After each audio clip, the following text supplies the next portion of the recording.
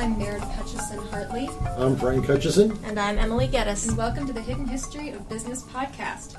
Today we are talking about beer. Woohoo! Woohoo! Um, but not not beer the way we define it now. Our modern definition of beer only goes back about 500 years. Nowadays, when we think about beer, we're talking about that sometimes clear brownish beverage comes in a bottle, has some foam on it, is made with wheat or barley and hops usually. Sometimes oats are thrown in, but that's a pretty narrow definition of beer. Historically, though, beer was a much broader category. Um, if you go all the way back to its origins, 12,000 years ago in the Fertile Crescent in Mesopotamia, you're dealing with no distinction between beer and bread. They were considered uh, synonymous with each other. In fact, uh, Emily, you were saying that the Sumerian uh, cuneiform word for uh, food was was just the combination of bread and beer.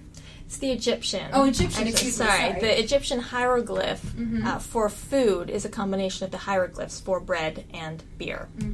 which I think is a really good indication of how pervasive it was in society. In fact, I um I, I studied Thai, and in Thai, when you ask someone if they've eaten, you say "gin cow," which just means uh, "Did you eat rice?" And they're they're not referring to just rice; they're talking about any food. But it's it's that synonymous. Rice is sustenance. Well, for the ancient world, beer and bread were sustenance too. And when we talk about beer, we're not just talking about wheat or anything else. It's this pretty broad spectrum of fermented grains of some kind.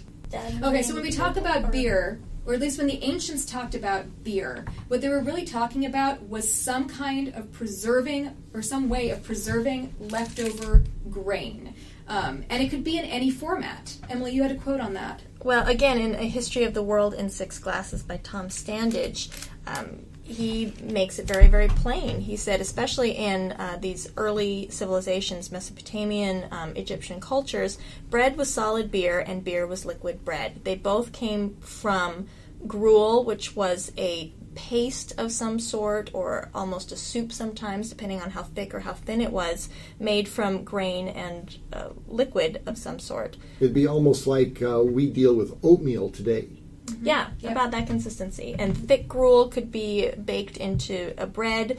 Thin gruel could be left to ferment into beer. So bread was solid beer, beer was liquid bread, two sides of the same coin. They didn't differentiate between them. It's the same way we talk about eating wheat or sugar. There are so many different formats of it, but beer and bread all fit together. They, they were a spectrum, not separate foods as we think of them now. And really, what it gets back to is the basic process of making beer. And it really can be broken down into you take some type of grain or some carbohydrate, basically, put it in a vessel, add some water, and let it sit. Now, in the ancient world, uh, they didn't have great sanitation or sterilization, so you would naturally have yeast or bacteria present. It's just airborne. I mean, we, there's yeast Yes. around us all the time.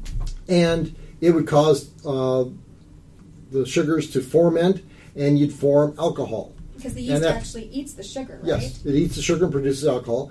And after about a week or so, you have a lovely brew uh, that contains alcohol, which means that you can now kind of keep it because it'll be preserved because the alcohol does the preserving because it kills germs.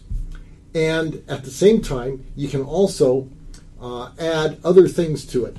You can, so you can start adding some flavor uh, by adding fruit or nuts or whatever else you want. Well, everything's a variation on this. I mean, the very basics of wet grain, yeast, and sitting to pro- eat the sugars and produce alcohol. Every kind of beer in the world is just a variation on that process. Some people might do something different to the grain beforehand. They may strain it later and remove the solids. I mean, there's so many different formats, but it all goes back to that core process, which was really critical to the rest of civilization. Well, and it had a whole lot of benefits besides the fact that some people like to drink it for the buzz or for the flavor. Um, as Frank mentioned, the antimicrobial quality of the alcohol gave them something safe to drink. Oftentimes, water was not necessarily safe to drink for sanitation issues, um, and, beer was something people knew would be safe to drink.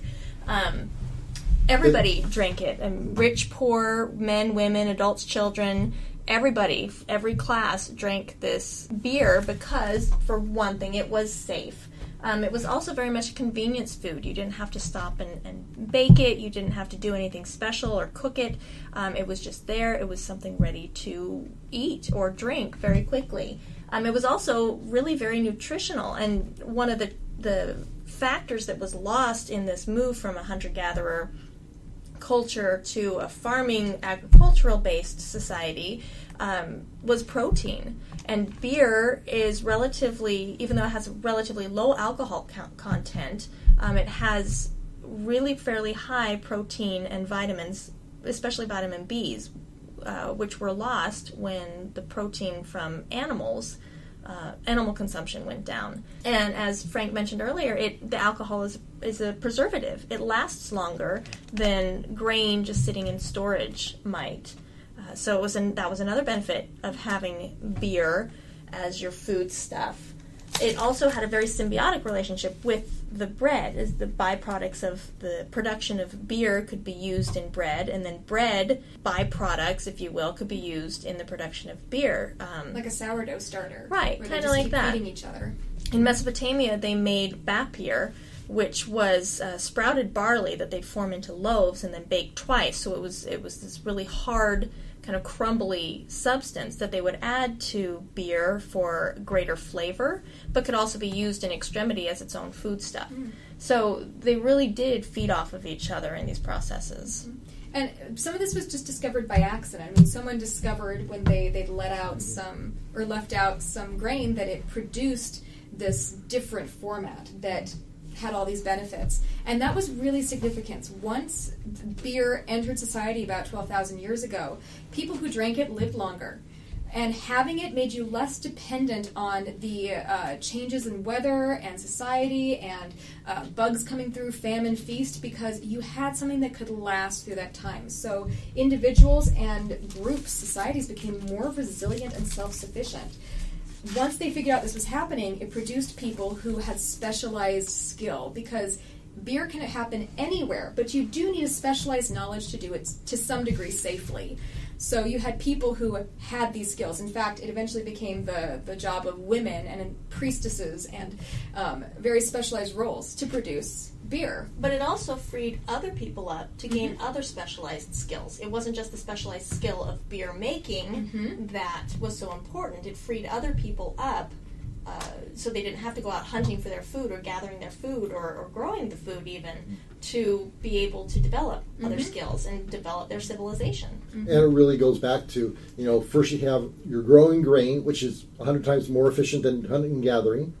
Then you have a way of preserving that food, mm-hmm. which now means that, hey, you're producing more efficient food. You are also able to feed more people. Well, you don't need to have all these people producing food, so now they can start doing other things, and those other things are the things that we today think of as accounting, mm-hmm. because you've got all this property. You've you, got to have got, a way to keep mm-hmm. track of it. That and means writing. Who gave you what and, and how much when you have groups them. of people working on something, you want to make sure no one's skimming or watering it down or stealing from you. So you kept very careful track of the resources entering the system. That's right. And then because you have all these people together, you have to have rules, which means now you have government and bureaucracy. Bureaucracy. Yeah, and even currency at that point. Because you have an excess, it means you can trade it, which means you're either bartering or you're producing some kind of marker or currency. In fact, the earliest currency we, in the world that um, they actually have that is separate from barter is the Alulu beer receipt, which is a marker for about four liters of the best beer in ancient Sumeria. And I would imagine that they had a different gradation of beer so that if you didn't get the best beer, mm-hmm. then you got eight liters. Which we'll be discussing more in the in the next episodes. But uh, what I really appreciate about all this is that what we define now when we talk about the history of beer or something, we're, we've really been limited by our assumptions about what that, that was. There are so many more problems, so many more things that it applied to, um, which we'll be discussing in our next few episodes. Thanks for listening.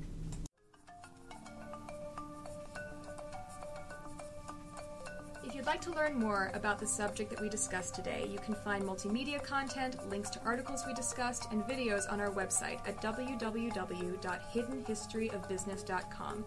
You can also find us on Facebook as The Hidden History of Business and on Twitter as well. Thanks for listening.